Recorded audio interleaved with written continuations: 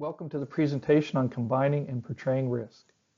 In this presentation, we will circle back to cover some of the basic risk concepts that can help us to calculate and present a coherent risk estimate. At the conclusion of this presentation, you should be able to do three things. First is to perform the calculations needed to prepare the two types of risk plots. Second is to recognize and apply some of the different options for calculating a total risk estimate. And third is to portray and communicate uncertainty in a way that informs your recommendations. In this presentation, we will highlight some of the characteristics of a coherent risk estimate. We will give an overview of the two types of risk plots. We will provide several options for calculating a total risk estimate, and we will discuss how uncertainty can be portrayed and used to inform recommendations. It is important that we calculate and portray our risk estimates in a way that builds a coherent case for decision makers so that the results can be used to take appropriate actions. There are three characteristics that make up a coherent risk analysis. The first is logical, meaning that the case is supported by clear and sound reasoning. The second is consistent, which means that each part of the risk analysis is compatible and not contradictory. The third is unified, meaning that the information and evidence collectively supports the recommended course of action. Here are the two types of risk plots commonly used in risk analysis to portray the risk and evaluate the tolerability for both individual and societal risk. The plot shown on the left is known as the little fn. This plot portrays the annual failure probability on the vertical axis and the average life loss on the horizontal axis. Diagonal lines on the little fn plot represent equal values of annualized life loss. The diagonal guideline shown on the little fn plot represents the societal tolerable risk limit, which is equal to an annualized life loss of 1 in 1,000. The horizontal guideline shown on the little fn plot represents the individual tolerable risk limit, which is equal to 1 in 10,000 per year. The annual probability of failure is commonly used on the little fn plot as an estimate of the individual risk. This assumes that the most at-risk individual or group will be exposed to the flood and will perish. Risk estimates are typically portrayed on the little fn plot as a collection of points. The plot shown on the right is known as the big FN plot.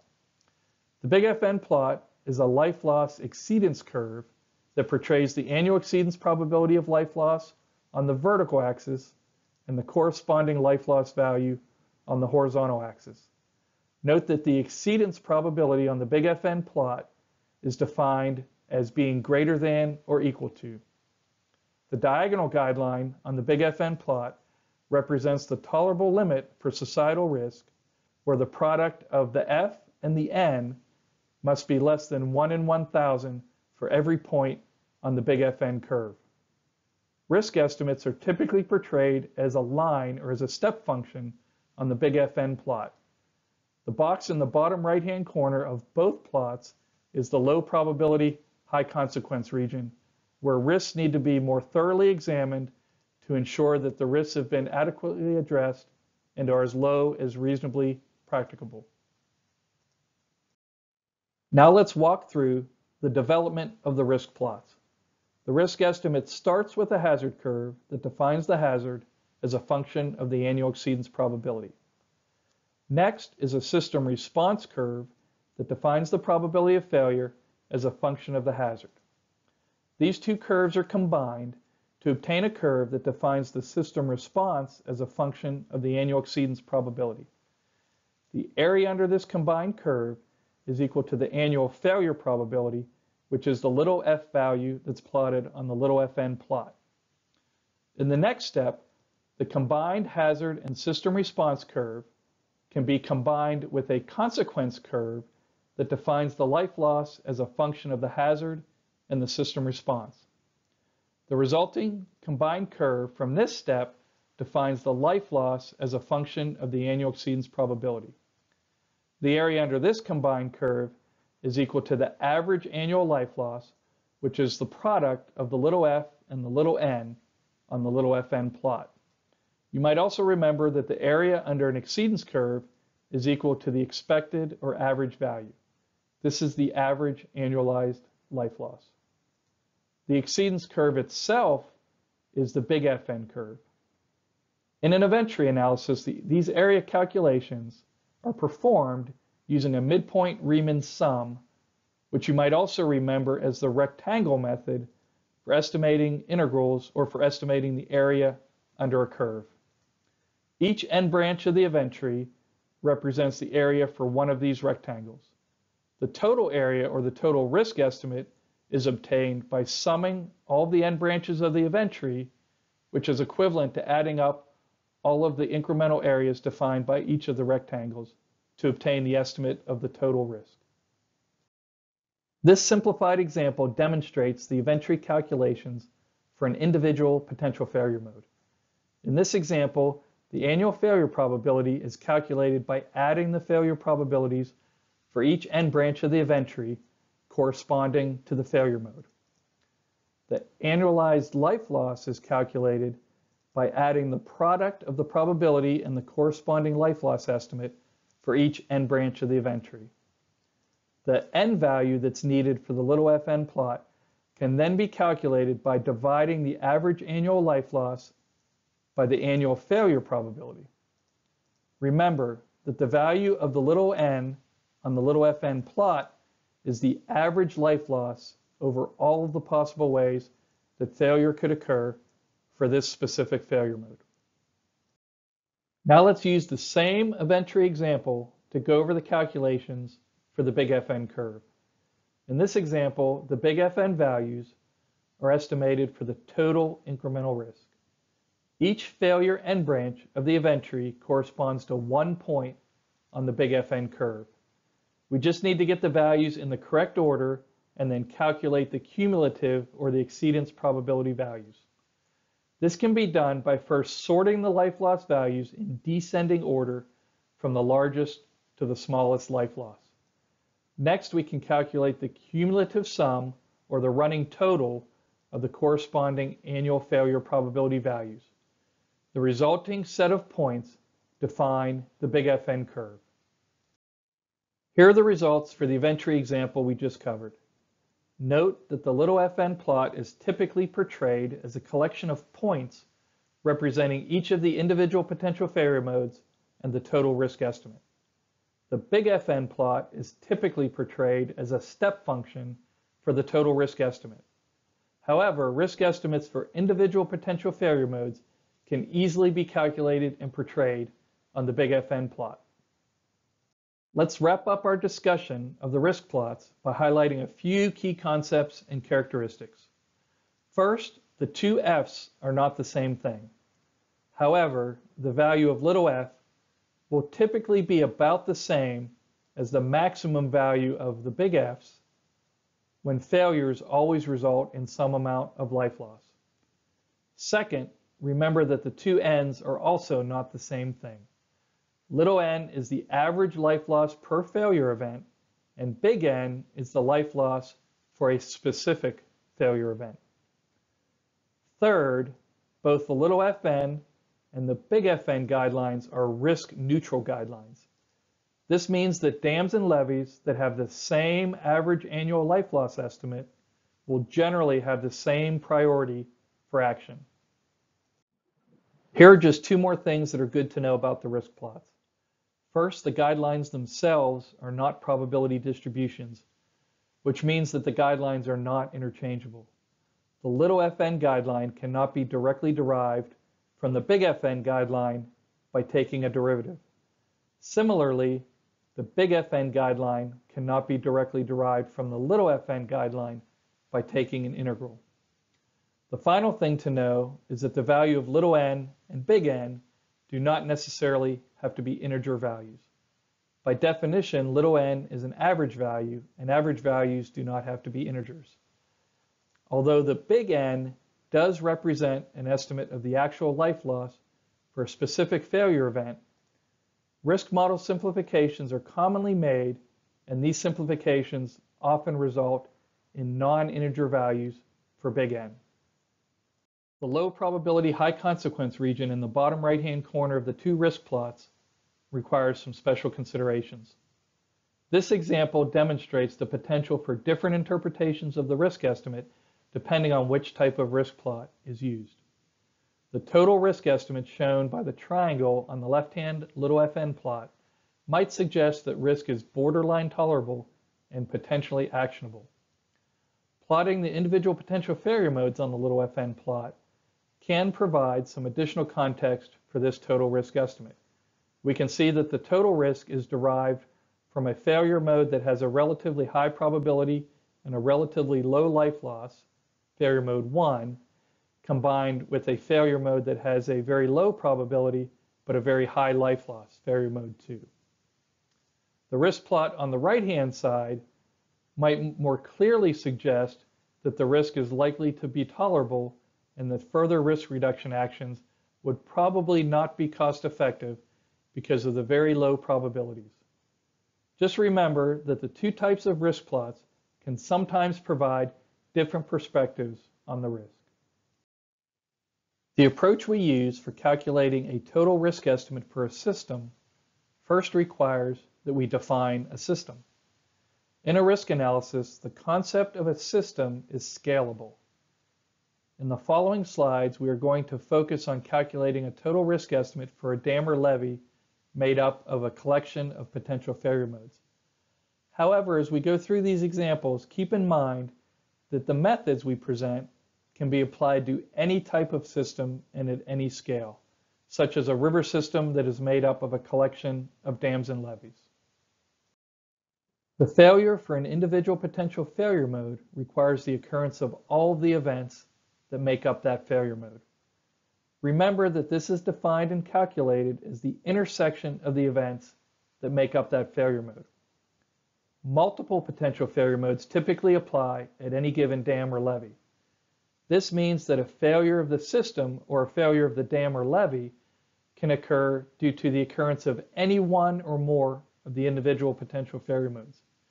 Remember that risk for the system is defined and calculated as the union of the events or the union of the individual potential failure modes. Here are some of the factors to consider when deciding how to approach a total or a system risk calculation. The two main considerations are the accuracy that you can achieve in your risk estimate and the accuracy that you may need to inform a good decision. There are three basic options for calculating a total risk estimate. The end game is to transform the set of independent potential failure modes into a collection of mutually exclusive failure modes so that we can sum the probability and risk estimates to get an estimate of the total risk. The first and easiest option is to simply ignore the probability and consequences for the joint event represented by the overlapping area and simply assume that the individual potential failure modes are mutually exclusive.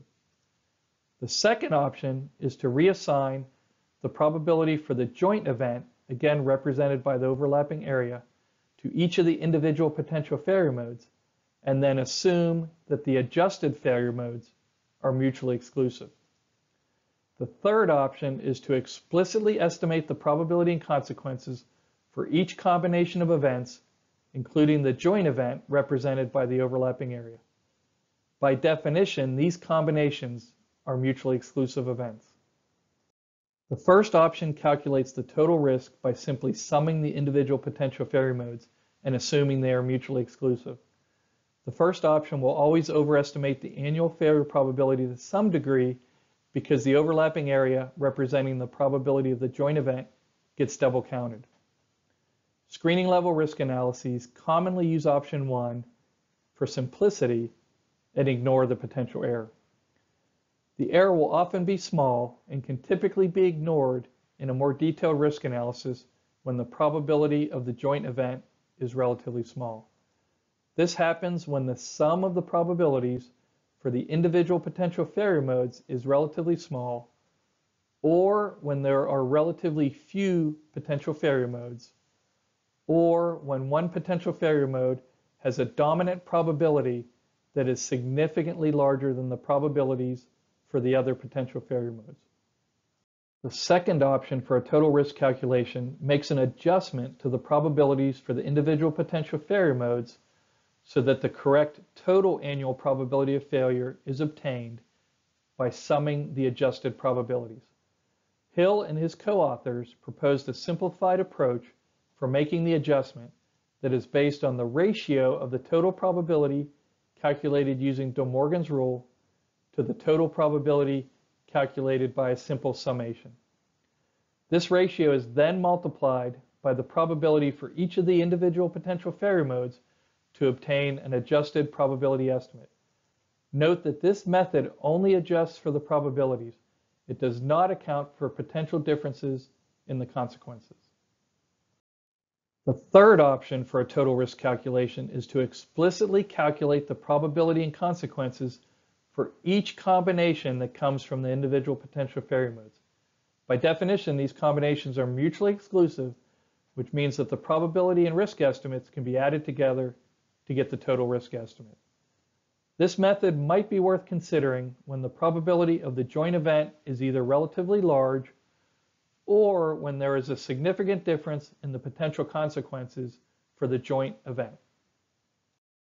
Now let's quickly look at a simplified example to see how the three options for total risk calculation play out.